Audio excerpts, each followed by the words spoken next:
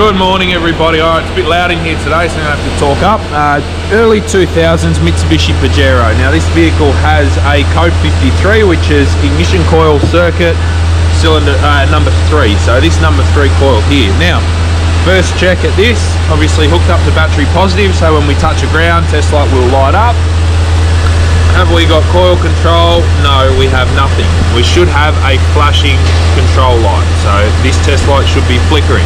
Now how this circuit works, we'll go back and this car come in actually from one of our, our videos on an injector driver issue. Um, customer thought that it may need a new ECU with an injector driver. This is our diagram, right? So we've got our coil number three, we've got a shared feed on this wire that's spliced in, the LB. So that's a shared 12 volt feed to ignition switch and then the brown wire end comes down, goes to our power transistor, which is an ignition module, there's a transistor in that ignition module. So it goes to one side of that transistor, the other side has ground and is controlled by another transistor in the ECU. So simple, simple-ish circuit design, right? All we need to confirm, we know we've got no output to this coil here. We've checked it at this ignition module down here. All we need to confirm now is that our ECU transistor is grounding that wire.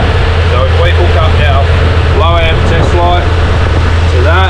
As you can see, that is flickering. I'll get actually a slightly lower amp test light to do that again. Alright, so this is a 126 milliamp test light. Um, it is important to know what your test light draws because if I was to put a bigger test light on this circuit, we will end up killing that transistor in that ECU. So these are both quite low current test lights. This one's just a bit easier to see. So if I hook that up to there, as you can see, that's flickering on and off, on and off. So that ECU has good control of the transistor in the coil module. The transistor in the coil module does not have any control of this ignition coil. So this vehicle is going to require a new ignition coil module, which is this unit up the back here. Um, as far as everything else, there's nothing else we need to check because everything else in this unit is um, fine. Everything else operating fine. So other two coils are operating fine. We know the driver that's going to be in that module and those two transistors are grounding those coils out. Um, we know our ECU has control here and we know that our shared ground on here is all good. So as you can see that ground splices in and that ECU controls it. So this vehicle needs a new ignition coil module and that's it. That, that's 100%. Wiring integrity is good. Coil itself is good. Needs a new coil module. All right, so follow up on our Pajero. We've got our new ignition module just sitting there. old one's still in there because we've got to wiggle it out. But as you can see, test light hooked up to battery positive. When it finds the ground, it will light up.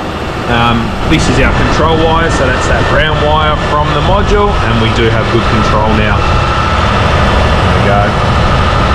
So that is all fixed. That ignition module, the new one, is controlling it. And for anyone's interest, um, AFI, so AFI parts is actually a genuine Mitsubishi part. So this AFI module comes in a genuine Mitsubishi box and it's stamped with all the Mitsubishi logos. So they obviously just resupply them. So this car's all fixed, running good, we'll clear the code.